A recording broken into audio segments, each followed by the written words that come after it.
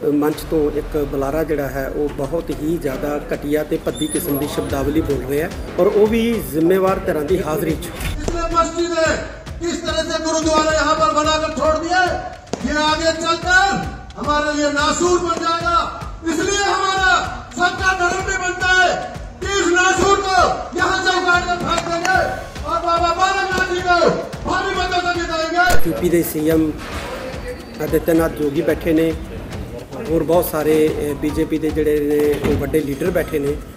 ਉਹਨਾਂ ਦੀ ਹਾਜ਼ਰੀ ਦੇ ਵਿੱਚ ਉਹ ਬੰਦਾ ਜਿਹੜਾ ਕਹਿ ਰਿਹਾ ਹੈ ਕਿ ਮਸਜਿਦਾਂ, ਗੁਰਦੁਆਰੇ ਜਿਹੜੇ ਨੇ, ਇਹ ਨਾਸੂਰ ਹੈ।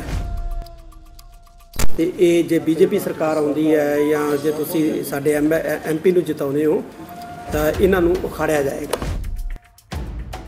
ਡੈਮੋਕ੍ਰੇਸੀ ਦੇ ਵਿੱਚ ਇਸ ਤੋਂ ਘਟੀਆ ਪੱਦਾ ਬਿਆਨ ਜਿਹੜਾ ਹੈ ਉਹ ਕੋਈ ਹੋ ਨਹੀਂ ਸਕਦਾ ਹੈ ਕਿ ਘੱਟ ਗਿਣਤੀਆਂ ਨੂੰ ਜਿਹੜਾ ਹੈ ਉਹ ਨਿਸ਼ਾਨਾ ਬਣਾਇਆ ਜਾਵੇ।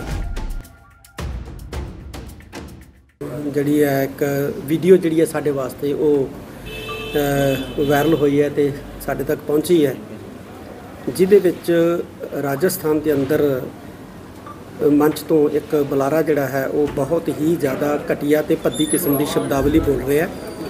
ਔਰ ਉਹ ਵੀ ਜ਼ਿੰਮੇਵਾਰ ਧਿਰਾਂ ਦੀ ਹਾਜ਼ਰੀ 'ਚ। ਯੂਪੀ ਦੇ ਸੀਐਮ ਆਦਿੱਤਿਆਨਾਥ ਜੋਗੀ ਬੈਠੇ ਨੇ ਹੋਰ ਬਹੁਤ ਸਾਰੇ ਬੀਜੇਪੀ ਦੇ ਜਿਹੜੇ ਨੇ, ਉਹ ਵੱਡੇ ਲੀਡਰ ਬੈਠੇ ਨੇ। ਉਹਨਾਂ ਦੀ ਹਾਜ਼ਰੀ ਦੇ ਵਿੱਚ ਉਹ ਬੰਦਾ ਜਿਹੜਾ ਕਹਿ ਰਿਹਾ ਹੈ ਕਿ ਮਸਜਿਦਾਂ, ਗੁਰਦੁਆਰੇ ਜਿਹੜੇ ਨੇ, ਇਹ ਨਾਸੂਰ ਹੈ।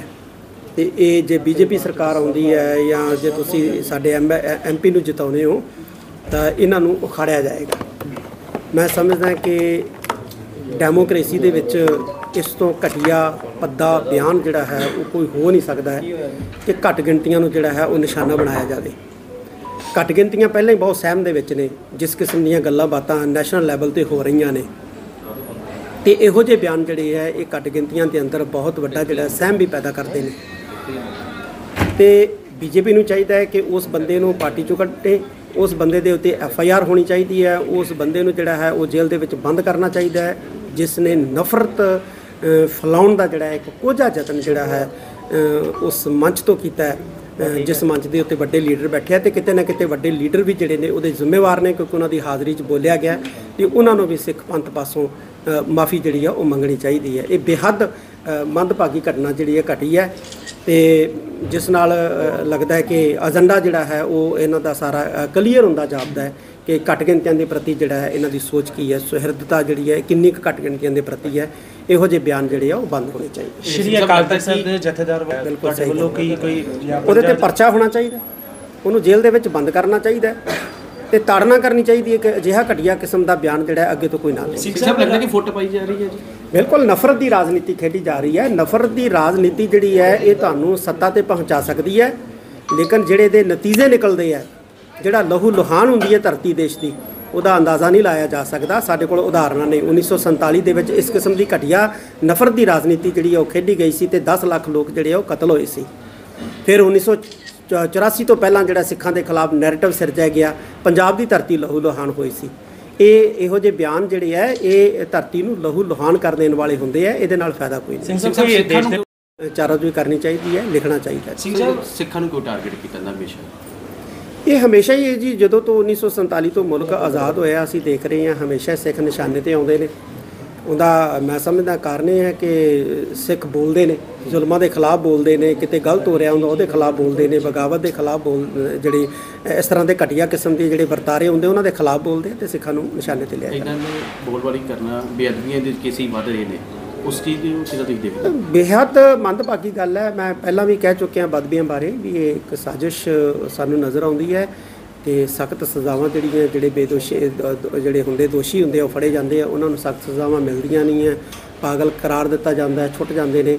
ਜਿਹਦਾ ਨਤੀਜਾ ਹੈ ਕਿ ਬੇਅਦਬੀਆਂ ਕਰਨ ਵਾਲੇ ਲੋਕ ਜਿਹੜੇ ਆ ਉਹ ਹੋਰ ਉਤਸ਼ਾਹਤ ਹੁੰਦੇ ਨੇ ਤੇ ਠੱਲ ਪੈਣੀ ਚਾਹੀਦੀ ਸਿੰਘ ਸਾਹਿਬ ਰਾਜਾ ਵੜਿੰਗ ਦਾ ਕਹਿਣਾ ਹੈ ਕਿ ਇਹ ਜਿਹੜਾ ਕਮਲਨਾਥ ਦਾ ਕੋਈ ਕਸੂਰ ਨਹੀਂ ਹੈਗਾ ਸਿੱਖਾਂ ਦੀ ਨਸਲ ਦੇਖੋ ਖੁਸ਼ੀ ਦੇ ਵਿੱਚ। ਉਹ ਜਿਹੜੇ ਜਿਹੜੇ ਆਪਣੇ ਆਪ ਨੂੰ ਇਹ ਸਮਝਦੇ ਆ ਕਿ ਅਸੀਂ ਇੰਦਰਾ ਗਾਂਧੀ ਦੇ ਬੇਟੇ ਆ ਤੇ ਉਹਨਾਂ ਦਾ ਇਹ ਕਹਿਣਾ ਜਿਹੜਾ ਹੈਗਾ ਉਹ ਇਹ ਕੋਈ ਵੱਡੀ ਗੱਲ ਨਹੀਂ ਹੈ ਜੀ। ਸਿੰਘ ਸਾਹਿਬ ਚੋਣਾਂ ਦੇ ਨੇੜੇ ਆ ਕੇ ਇਸ ਤਰ੍ਹਾਂ ਦੀ ਰਾਜਨੀਤੀ ਕਿਉਂ ਇਸ ਤਰੀਕੇ ਦੇ ਬਿਆਨ ਘਟੀਆ ਕਿਸਮ ਦੀ ਰਾਜਨੀਤੀ ਹੈ ਇਸ ਕਿਸਮ ਦੀ ਬਿਆਨਬਾਜ਼ੀ ਔਰ ਇਸ ਕਿਸਮ ਦੀ ਰਾਜਨੀਤੀ ਨਾਲ ਤੁਸੀਂ ਸੱਤਾ ਹਾਸਲ ਕਰ ਸਕਦੇ ਹੋ।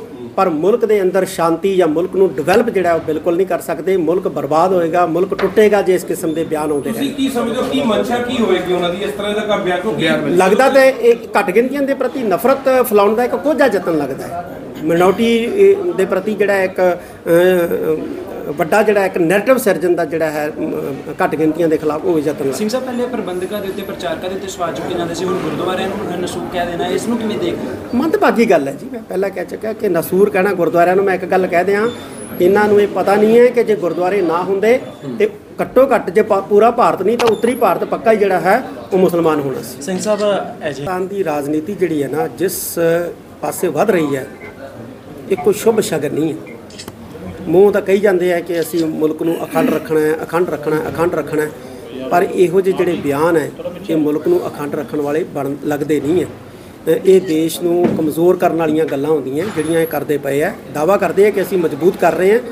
ਤੇ ਇਹੋ ਜਿਹੇ ਬਿਆਨਬਾਜ਼ੀ ਜਿਹੜੀ ਹੈ, ਇਹ ਕਮਜ਼ੋਰ ਕਰਦੀ ਹੈ। ਸਿੰਘ ਸਾਹਿਬ, ਦੇਸ਼ ਦੇ ਵੱਖ-ਵੱਖ ਭਾਗਾਂ ਦੇ ਵਿੱਚ ਨਫ਼ਰਤੀ ਰਾਜਨੀਤੀ ਚੱਲਦੀ ਪਈ ਹੈ। ਮਣੀਪੁਰ ਦੇਖ ਲਓ, ਪੰਜਾਬ ਇਹ ਨਫ਼ਰਤ ਦਾ ਪ੍ਰਚਾਰ ਉਸ ਵੇਲੇ ਕੀਤਾ ਜਾਂਦਾ ਹੈ ਜਦੋਂ ਪੋਲਰਾਇਜ਼ਮ ਜਿਹੜਾ ਨਾ ਪੋਲਰਾਈਜੇਸ਼ਨ ਜਿਹੜੀ ਹੈ ਉਹ ਕਰਨ ਦਾ ਇੱਕ ਯਤਨ ਹੁੰਦਾ ਹੈ ਤੇ ਸੱਤਾ ਹਾਸਲ ਕਰਨ ਦਾ ਜਿਹੜਾ ਹੈ ਵੋਟਾਂ ਦਾ ਧਰੁਵੀਕਰਨ ਕਰਕੇ ਤੇ ਸੱਤਾ ਹਾਸਲ ਕਰਨ ਦਾ ਜਦੋਂ ਨਿਸ਼ਾਨਾ ਮਿਥ ਲਿਆ ਜਾਏ ਤੇ ਫਿਰ ਇਸ ਕਿਸਮ ਦੇ ਘਟੀਆ ਕਿਸਮ ਦੇ ਬਿਆਨ, ਘਟੀਆ ਕਿਸਮ ਦੇ ਲੋਕਾਂ ਵੱਲੋਂ ਦਿੱਤੇ ਜਾਂਦੇ ਹਨ। ਠੀਕ ਹੈ ਜੀ। ਸਿੰਘ ਸਾਹਿਬ ਇਸ ਕਿਹਾ ਕਿ ਜਿਹੜੇ ਉੱਥੇ ਹਾਜ਼ਰ ਸੀ ਜ਼ਿੰਮੇਵਾਰ ਸੀ ਯੂਪੀ ਦੇ ਸੀਐਮ ਉੱਥੇ ਹਾਜ਼ਰ ਸੀ ਉਹਨਾਂ ਨੂੰ ਵੀ ਸਿੱਖ ਪੰਥ ਪਾਸੋਂ ਮਾਫੀ ਮੰਗਣੀ ਚਾਹੀਦੀ ਹੈ ਕਿ ਉਹਨਾਂ ਦੀ ਹਾਜ਼ਰੀ 'ਚ ਇਸ ਇਸ ਤਰ੍ਹਾਂ ਦੀ ਘਟੀਆ ਕਿਸਮ ਦੀ ਗੱਲ ਕੀਤੀ ਗਈ। ਠੀਕ ਹੈ ਕੇਂਦਰ ਸਰਕਾਰ ਨੂੰ ਸ਼੍ਰੋਮਣੀ ਗੁਰਦੁਆਰਾ ਪ੍ਰਬੰਧਕ ਕਮੇਟੀ ਨੂੰ ਮੈਮੋਰੈਂਡਮ ਦੇਣਾ ਚਾਹੀਦਾ ਹੈ ਪਰ ਮੈਨੂੰ ਲੱਗਦਾ ਨਹੀਂ ਹੈ ਕਿ ਮੈਮੋਰੈਂਡਮ ਦੇਣ ਦੇ ਨਾਲ ਹੀ ਉਹਨਾਂ ਨੂੰ ਪਤਾ ਲੱਗੂਗਾ ਕਿ ਕੀ ਹੋਇਆ।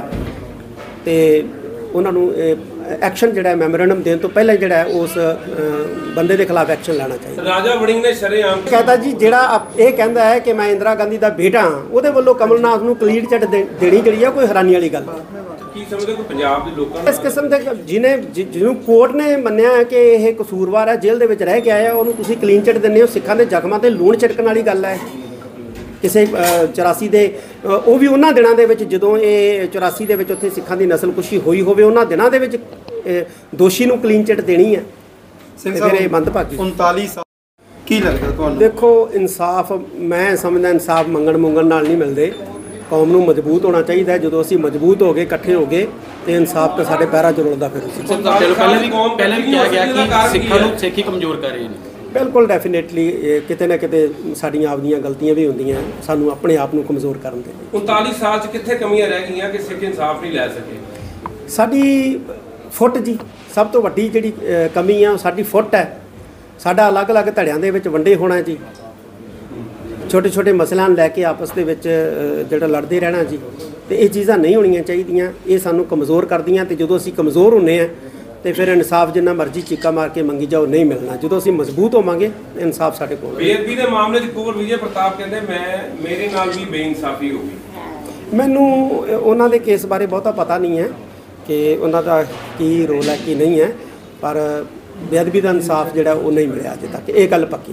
ਤੇ ਉਹ ਫਿਰ ਕੌਣ ਜ਼ਿੰਮੇਵਾਰ ਹੈ? ਤੁਸੀਂ ਕਿਹਨੂੰ ਜ਼ਿੰਮੇਵਾਰ ਸਮਝਦੇ ਹੋ? ਤੁਸੀਂ ਬਹੁਤ ਹਾਇਰ ਪੋਸਟ ਤੇ ਹੋ। ਸਰਕਾਰਾਂ ਜ਼ਿੰਮੇਵਾਰ ਹੈ ਜਿਹੜੇ ਅੱਜ ਤੱਕ ਉਹਨਾਂ ਦੋਸ਼ੀਆਂ ਨੂੰ ਕਟਹਿਰੇ ਦੇ ਵਿੱਚ ਖੜਾ ਕਰਕੇ ਸਜ਼ਾ ਹੀ ਨਹੀਂ ਦੇ ਸਕੀਆਂ।